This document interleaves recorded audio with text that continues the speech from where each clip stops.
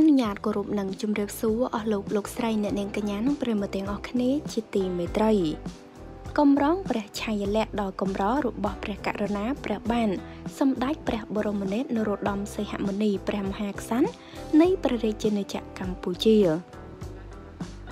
ថ្ងៃប្រហ័ស800ខែពិសាឆ្នាំជូតទស័កពុទ្ធសករាជ2564ត្រូវនឹងថ្ងៃទី14ខែឧសភាឆ្នាំ2020នេះ ជាថ្ងៃដ៏មហាសែនអូឡារឹង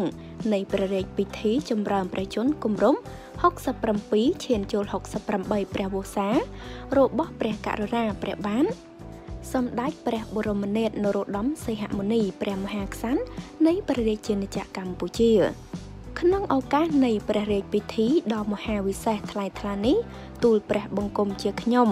និងពលរដ្ឋខ្មែរ សូមថ្វាយព្រះពរព្រះអង្គប្រកបដោយព្រះរាជសុខភាពល្អបរិបូរណ៍ព្រះកាយពលមមួនព្រះជន្មាយុយឺនយូរដើម្បីគង់ប្រធម្មជាមលប់ដ៏ត្រជាក់ដល់ប្រជារាស្ត្រខ្មែរទាំងក្នុងនិងក្រៅប្រទេសជានិច្ចជានិរន្តរ៍តរៀងទៅនាឱកាសប្រកបដោយសិរីមង្គលដ៏ឧត្តមឧត្តមនេះដែរយោងតាម page Facebook របស់យ៉ែមរ៉ាឌី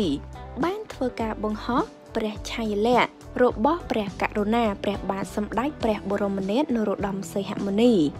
ជាច្រើនសន្លឹង ដែលពិតជាកម្រនឹងបានឃើញ